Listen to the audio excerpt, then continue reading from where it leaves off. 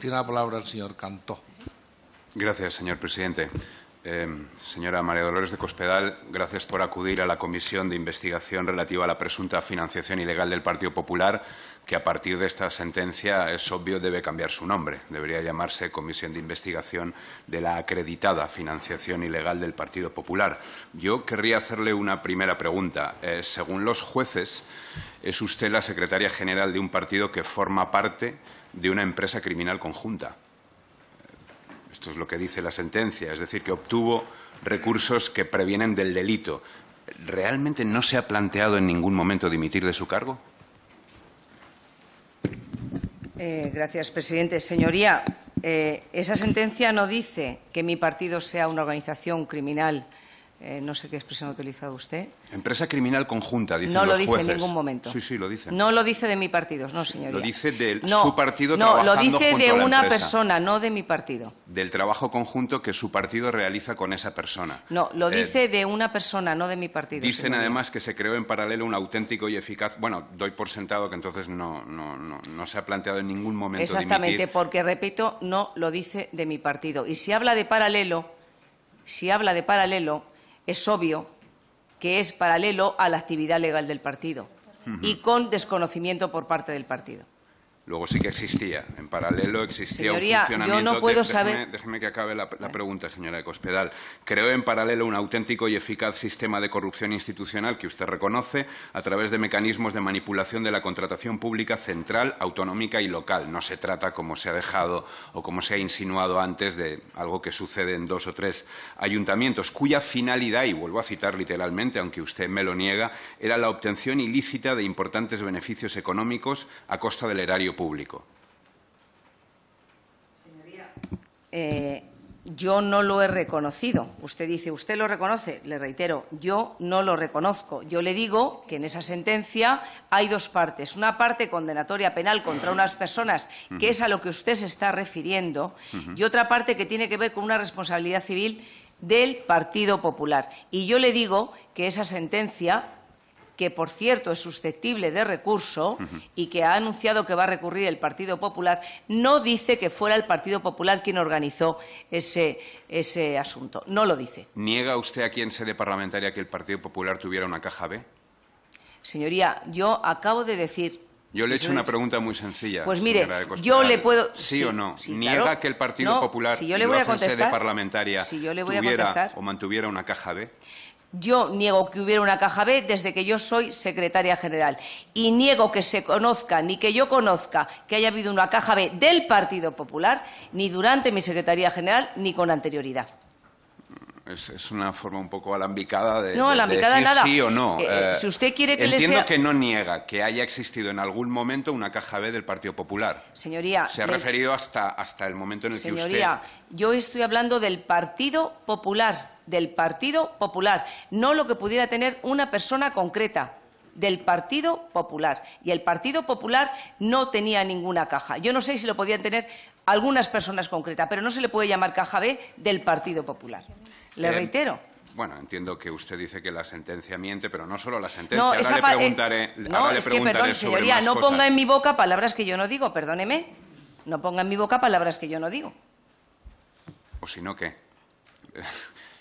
Eh, Me va a amenazar con otra querella. Es que, mire, señora de No, pero Cospedal, si es que no he dicho si no, eso lo ha dicho usted. Es que aquí nos hemos encontrado con varios perfiles distintos del Partido Popular. Han pasado por aquí personas que literalmente, realmente no han abierto la boca y nos han mirado de manera desafiante. Han pasado por aquí personas. Bueno, en realidad solo ha pasado una persona del Partido Popular que haya colaborado, que es el señor Ricardo Costa, que en la medida en la que no entraba en conflicto con sus casos pendientes, eh, sí que se prestó a colaborar. Y luego, y parece que ese es su perfil, ha pasado por aquí mucha gente que, como usted lleva, bueno, usted lleva casi 20 años en el Partido Popular, que llevan toda la vida en el Partido Popular y no se han enterado de nada. Estamos hablando de cientos de imputados, de decenas y decenas de casos, de millones y millones de euros, de, causas que se han abierto por decenas, de delitos que se están juzgando gravísimos y usted no, se enteró de nada.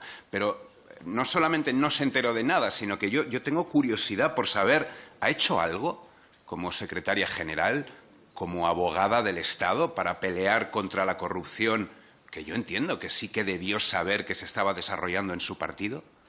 Algo, un mínimo acto, una pequeña denuncia, una aportación de documentación, una investigación interna, algo, señora María Dolores de Cospedal. Señoría, yo como secretaria general he colaborado con la justicia en todo lo que la justicia. ¿Nos puede poner un ejemplo de pues colaboración con la justicia? Pues en toda la Concreto.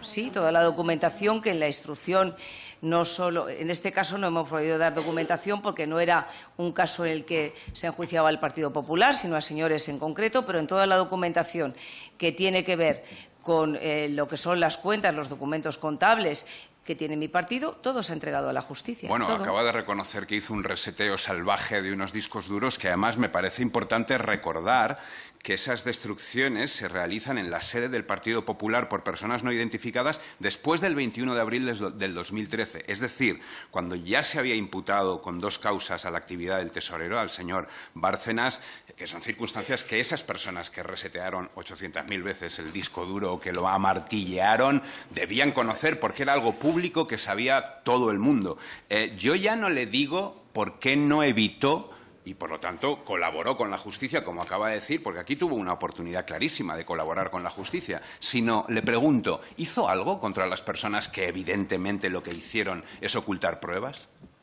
Bueno, evidentemente porque lo diga su señoría. Hombre, eh, había una causa en marcha eh, y había unos discos duros donde era claro y todo el mundo sabía que había documentación ¿Ah, y datos sensibles y usted primero permitió que se destrozaran esos discos duros y luego le estoy preguntando, ¿hizo algo al respecto?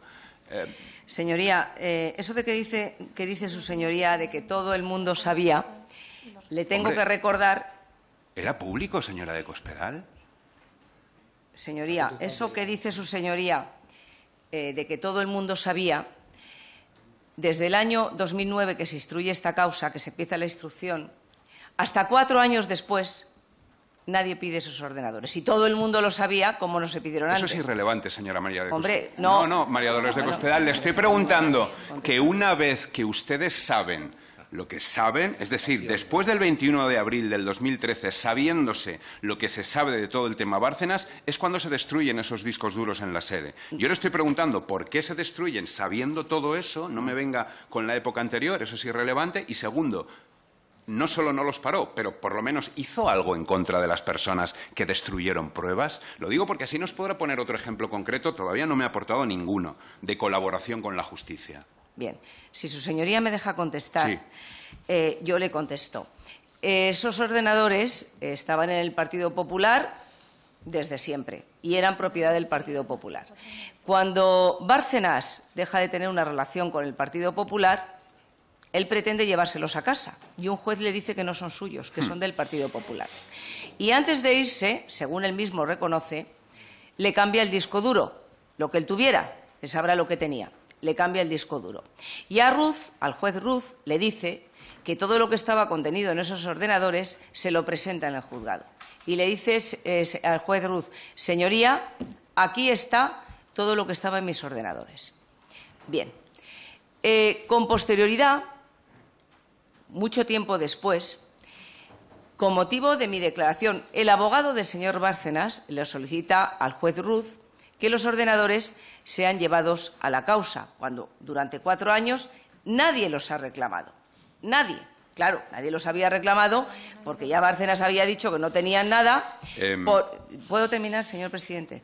Nadie los habría yo solo reclamado. le recuerdo que le pido, por favor, que me responda la pregunta. Es que es muy sencilla. ¿Tengo que responder? Ya veo que no evitó la destrucción. Quiero saber si por lo menos le llamó la atención a quien los destruyó sabiendo lo que estaba destruyendo. Usted sabe que la señora compareciente en este procedimiento tiene tiempo ilimitado para responder. Si considera que, debe utilizar un procedimiento eh, más o menos indirecto para acabar contestando o no, pues si no le parece satisfactorio, lo hace después, por favor, es que si no, no acabamos. ¿eh? Bien. Esos ordenadores habían estado a disposición de la justicia todo el tiempo que la justicia ha querido. Estuvieron cuatro años allí y no los reclamó nadie. Y no los reclamó nadie, repito, aunque su señoría no quiera conocer toda la historia, que es la verdad, porque él mismo había dicho que no había nada. Y se formatearon por parte de los empleados del partido, por los responsables informáticos y quien eh, fuera responsable, como se hace en todas las empresas. Después, Sí, señoría, el señor Bárcenas y su abogado hacen un montaje para perjudicar al Partido Popular, porque así lo considero yo. Y dicen que de pronto se han acordado que en esos ordenadores había muchísimas cosas. Después de que esos ordenadores ya estuvieran, si, hubieran sido preparados para reutilizarse por otras personas del partido. Y se entregó lo que había. Y eso de los martillazos, señoría, yo comprendo que usted es actor, que es muy vehemente, que tiene mucha capacidad de convicción, pero por mucho que me interrumpa, no puede cambiar la verdad. Y esta es la verdad. Me ha preguntado su señoría, ¿usted ordenó, hizo algo? Es que no tenía que hacer nada. Ellos cumplieron con su obligación, como hacen los responsables en todas las empresas, su obligación era destruir pruebas. No, su obligación, señoría, era que un material del partido que no había valido ni valía para la justicia, tal y como se había acreditado, porque los ordenadores se pidieron después, porque es que aquí parece que se hizo. Los ordenadores se pidieron bastante tiempo después organizarlo para que se pudiera utilizar por otra persona. Bien, eh, con todo esto entiendo que usted no, pidió que se protegieran pruebas y no riñó a nadie como secretaria general por destruirlas. Pero señoría, si es que no era una prueba. déjeme que, No, no, pero yo le digo, es y que además, usted, es que usted dice. No, pero déjeme que termine. No, pero yo le dejo, pero es que usted está cambiando mis palabras. Es que no era una prueba, no me ha dado, y, no, es que sí que lo era. No, no lo era. Bueno, vale. Entonces, pero si tienen turno suficiente. Vale, entonces, eh, yo creo que sí que lo era. Esto es un tema de yo creo que sí que lo era y creo que se destrozaron pruebas y no solo lo opino yo. Eh, y, sí que me gustaría, ya que usted no me pone ningún solo, es que no me ha puesto ni un solo ejemplo de colaboración con la justicia, de entrega de documentos o de denuncia. Usted me recuerda que soy actor. Gracias. Yo, le recuerdo a usted que es abogada del Estado. Como abogada del Estado, cuando conoce por el país y el mundo otro ejemplo de colaboración, eh, que existe una contabilidad oculta en el PP, siendo usted abogada del Estado, ¿por qué no puso ninguna denuncia? ¿Por qué no, por qué no hizo nada? Vamos a ver, eh, señoría. Primero, yo sí puse denuncias. Lo primero. Y los. Aparte de a Bárcenas. Digo para, No, no, y a los periódicos que han publicado esa información. No, no, pero yo hablo a los, a los, a, los, a los corruptos de su partido, a, todo lo que se estaba organizando dentro de su partido. Colaboró con la justicia, ayudó a que algunas de esas personas del Partido Popular pasaran o se sentaran frente a un juez, eh, entregó documentación a la policía. Eh. Señoría, si usted me puede interrumpir todas las veces que quiera. Todas. Hombre, es que intento que responda, que me dé un ejemplo de Pero si es que no me deja contestar, señoría. Es que es muy, muy sencillo. Pero déjeme contestar. Un pequeño ejemplo. Pero déjeme Pues es que no me deja contestar, señoría. Es que estoy deseando que me lo dé. Pues mire, me dice, ¿qué hizo usted? Pues sí, puse varias denuncias. Puse varias denuncias y está acreditado y se conoce por todo el mundo. ¿A quién es, aparte del señor Bárcenas? A Bárcenas, que es el que había publicado algo que desde luego no era del partido, era de él. Sí, pero atentaba, pero era porque atentaba contra su honor, es decir, no, no estaba intentando No, y porque era mentira, señoría. No estaba intentando porque era limpiar mentira. De, no estaba intentando limpiar de corrupción al Partido Popular. Yo, yo le pido que me dé un ejemplo como secretaria general de su partido, en medio del lodazal en el que hemos vivido todos y en el que estaba inmerso su partido, que me ponga un ejemplo de entrega de documentación o de colaboración con la justicia, señora de Cospedal. Un solo ejemplo. Y usted no está siendo capaz de dármelo. Señoría, toda la documentación que mi partido y yo hemos dado a la Audiencia Nacional para instruir todos los delitos. Y hay muchísima documentación. Por cierto, mucha más de la que haya entregado ningún partido político que esté aquí. Sí, encima va a darnos lecciones al resto de los partidos políticos con, la que con todo lo que tienen ustedes encima. Pero si yo no digo que le vaya a Le voy a preguntar otra cosa porque hasta ahora ha hablado mucho de los jueces y espero que no me responda en plan Jordi Puyol, ¿quién coño es eso de la UDEF? Eh, ha hablado de los jueces, pero no ha hablado de la UDEF. Eh, no, ha hablado de las fuerzas de seguridad del Estado, que de alguna manera, aunque solo sea tangencialmente, están bajo su mando, bajo su ministerio, de alguna manera la, Guardia Civil. No, de ninguna manera. Vale, de, ninguna, manera. Eh, la, UDEF concluye que sí que existe una caja B. Aporta tres informes. Eh, supongo que según usted la UDEF tampoco tiene ni idea y está mintiendo. No, no, no, cree usted que tenga ninguna credibilidad. Señoría, los informes policiales no son sentencias condenatorias, porque no vivimos en un Estado policial, vivimos en un Estado de Derecho.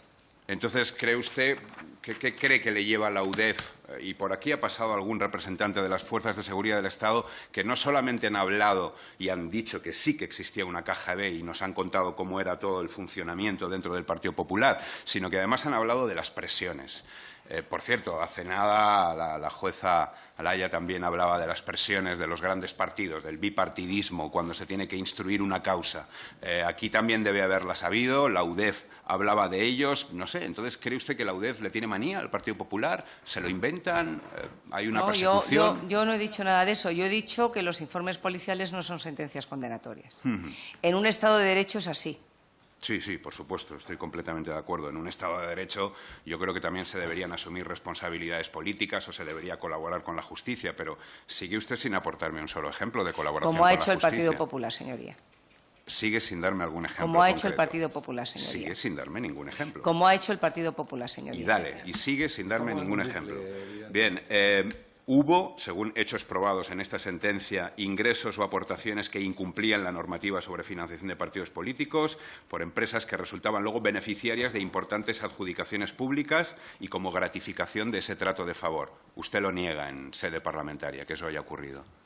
Señoría, yo lo que he dicho es que una cosa es, y una es la parte de la sentencia condenatoria con relación a determinadas... Quiero saber si lo niega o no.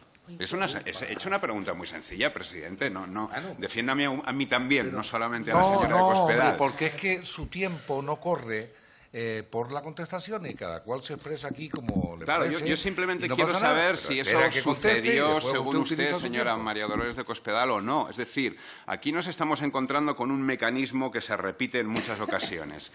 Eh, hay unos miembros, unos cabezas del Partido Popular que de alguna manera negocian con determinadas empresas que a cambio de adjudicaciones estas empresas les permitirían a ustedes y por lo tanto todos los miembros del Partido Popular son también beneficiarios de eso presentarse dopados a unas elecciones, ¿no? Y luego por otro lado, luego hay sinvergüenzas, con perdón, como, bueno, como parece ser que se ha demostrado el señor Zaplán hace poco o se está intentando demostrar, o como algunos de los que han pasado por aquí, que pegaban unas mordidas de ese dopaje. El dopaje al final lo que es es un esfuerzo del Partido Popular por mantenerse a toda costa en las instituciones. ¿no? porque es ir con trampas a las campañas electorales, con ventajas y, por lo tanto, mantenerse. Yo, yo le pido, ¿usted me niega que existían esas adjudicaciones a cambio, como ha quedado acreditado aquí? Un empresario aquí reconocía cómo se hacían esas facturas. ¿Usted me niega que ese mecanismo existía en el Partido Popular?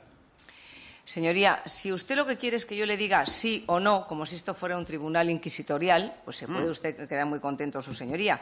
Yo le digo a su señoría que yo no puedo ni negar ni afirmar lo que dice la sentencia en relación con el tema penal de esas personas.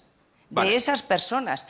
Yo lo que niego es que eso, es que eso fuera, o sea, un procedimiento orquestado por el Partido Popular por el Partido ¿no era un procedimiento orquestado por, los tesoreros del Partido Popular, que hay que recordar que están prácticamente Por el Partido Popular y en beneficio del Partido Popular. Eso lo niego.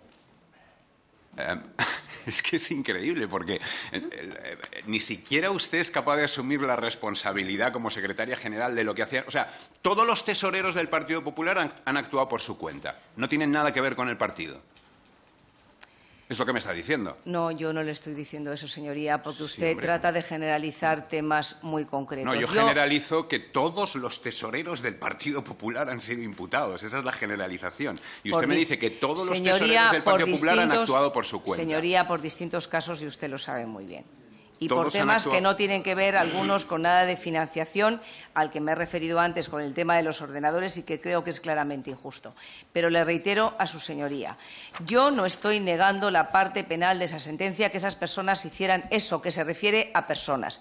Pero de ninguna manera de ninguna manera voy a admitir que eso fuera organizado desde el Partido Popular como organización política y por sus dirigentes para lucrarse. No, porque no es verdad. Es que me, deja usted absolutamente alucinado, señora de Cospedal. ni siquiera me reconoce lo que están diciendo todas las sentencias, que existió un mecanismo, lo que ha dicho la UDEF, lo que dicen los jueces, que existió una caja B y que esa caja B era manejada por unos tesoreros que conseguían licitaciones que daban favor, eh, o sea, ni siquiera me, reconoce eso aquí, en sede parlamentaria, donde es delito no decir la verdad, señora. Señoría, ya, ya, sé lo que es delito y lo que no es delito, yo hmm. se lo agradezco mucho, pero yo le vuelvo a decir que eso no se organizaba por una estructura del partido, sino por unas personas que tenían que ver con el partido y se aprovecharon de él pero no para beneficiar económicamente el Partido Popular. No se aprovecharon de él, se aprovechó todo el partido. Se hicieron actos de campaña, señora de Cospedal. Niega que se hicieron actos de campaña pagadas pagados por las empresas que luego eran eh, adjudicatarias. Señoría, usted sabe que sobre eso hay procedimientos judiciales. ¿Y, esa es la razón que me da para no hablar del tema? Pero si ¿No me lo hablando media hora, señoría, ¿cómo que no estoy hablando del tema? Pero que yo no le puedo contestar ahora a todos los, a los procedimientos judiciales que pueda haber en curso porque no tengo conocimiento exacto de los datos. Pero si quiere su señoría, se lo vuelvo a reiterar, que hay una parte penal de la sentencia que yo ni niego ni afirmo y se refiere a personas concretas. Y yo no lo estoy negando ni afirmando, no lo sé. Lo que yo sé es la otra parte, que dice que el Partido Popular es partícipe a título lucrativo, que exige no conocer que se estaba cometiendo una actividad delictiva. Y eso es lo que dice la sentencia. El señor Ricardo Costa mienta cuando dice que viene Señoría, que yo no estoy hablando de nadie, que estoy hablando de lo que dice la sentencia. No, yo le estoy citando un ejemplo de otro secretario general del Partido Popular en la Comunidad Valenciana, que dice que reconoce que existía en el partido a nivel comunidad valenciana y a nivel nacional el mecanismo del que yo le estoy hablando y que además cuando conoce tal mecanismo viene a Madrid y quisiera saber si usted es conocedora de esa reunión y de lo que se habla para eh, reunirse con el señor Bárcenas y hacerle conocedor del mecanismo que se estaba llevando a cabo para financiar los actos de campaña de la comunidad valenciana. ¿No conoce nada de esto tampoco? Absolutamente nada. Sabrá ese señor lo que ha hecho o dejado de hacer, pero él lo sabrá cree que miente, por lo tanto, aquí en sede parlamentaria. No, el por lo tanto lo ha dicho usted. He dicho que yo eso no lo conozco y él sabrá lo que ha dicho. Yo no lo conozco. ¿Le, parece a usted que es normal, ya sé que lo ha explicado antes, seguir pagando durante mucho tiempo el sueldo a alguien a quien se ha despedido en un partido político? Señoría, yo se lo vuelvo a decir, era una indemnización que se pactó que se pagara mensualmente durante un tiempo. ¿Usted afirma que es eso y no un pago por el silencio? Por supuesto. ¿Se siente orgullosa de la explicación que dio aquel día? Si no me tengo que sentir ni orgullosa ni poco orgullosa. Yo sé que los tribunales, que por lo visto ustedes a los tribunales no les hacen caso cuando no les interesa, en tres ocasiones han dicho que efectivamente se terminó esa relación laboral y que eso, por lo tanto, es una indemnización y que no es otra cosa y, desde luego, no es un pago por una relación laboral. ¿No le parece excesivamente cuantiosa como una indemnización laboral? Señoría, pero es que las cosas... Sueldo, secretaria, despacho, coche... Eso no es así, señoría, pero bueno, yo eh, no estamos hablando de que sea mucha, poca o regular. Estamos hablando de si era legal o no era legal y los tribunales han dicho que se terminó la relación laboral y han dicho cómo actuó el Partido Popular, que no había relación laboral y que tenía concepto indemnizatorio. ¿Ha hablado usted en alguna ocasión con el señor Rajoy acerca de los papeles de Bárcenas? Alguna vez, sí. ¿Nos puede comentar si le mostró preocupación o juntos decidieron alguna estrategia para intentar que saliera a la luz todo lo que tiene que ver con este caso o para que al menos no se repitieran estas prácticas? Señoría, es que usted da por bueno eh, esos papeles, apuntes. Es que, ya le he dicho a su señoría, hay muchas personas que hemos dicho que con lo que se refiere a nosotros esos apuntes no son reales, no son verdad. Em, ¿No se ha planteado en ningún momento eh, dimitir, ya no digo por eso que hemos recordado al principio, ¿no? porque formaba parte o porque forma parte o porque es la secretaria general de un partido eh, bueno, que forma parte, junto con una empresa, de, de una empresa eh, criminal conjunta, repito, es lo que dice la sentencia. Usted me lo negaba, debemos haber leído dos sentencias distintas. Eh, tampoco, ya sé que como secretaria general no se siente aludida, ya sé, porque no me ha dado ningún ejemplo concreto, que no ha hecho nada. Para colaborar con la justicia, entregando documentación o denunciando a quien sea. Tampoco como abogada del Estado ha hecho nada al respecto. No me parece que sea una actitud muy proactiva para luchar contra la corrupción, pero quería saber si por lo menos también tiene alguna responsabilidad en vigilando, después de reconocía usted, y es un dato público, que lleva casi 20 años en el Partido Popular. La, señora Esperanza Aguirre la reconoció, dimitió por ello. Me gustaría saber qué le parece y si usted se lo ha planteado en algún momento. Eh, señoría, yo le tengo que decir, los casos en los que yo tengo y he tenido responsabilidad directa son muy distintos al caso que usted me está planteando, y eso lo sabe su señoría. Y es verdad que yo llevo militando 18 años en el Partido Popular. Eh, pero yo no soy secretaria general de un cargo responsable en el Partido Popular hasta el año 2008. Pero eh, hay, casos como, como Taula, como Púnica, que suceden después de que usted sea secretaria general del Partido Popular. Bueno, es decir, sigue sucediendo la corrupción. Señoría, se han asumido muchas responsabilidades políticas. No, yo pregunto si usted, ha asumido alguna. Eh, se han asumido responsabilidades políticas. Usted se acaba de referir a ello.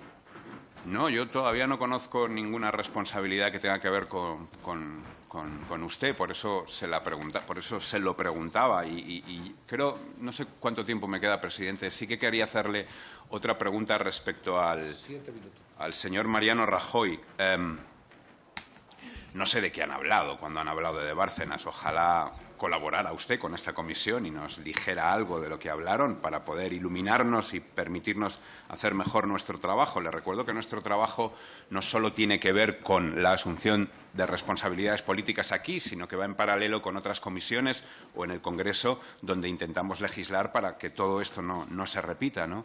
Pero eh, me gustaría saber cuál es su opinión respecto a usted eh, se ha querellado contra el señor Bárcenas.